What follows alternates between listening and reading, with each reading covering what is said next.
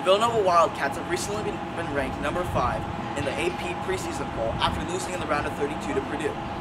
Although they have lost um, Eric Paschall and Phil Booth to the draft, and Jahvon Quinerly to Alabama, they have recently acquired five-star recruits Bryan Antoine and um, from Villanova, I'm Miles Davis, Sports Broadcast.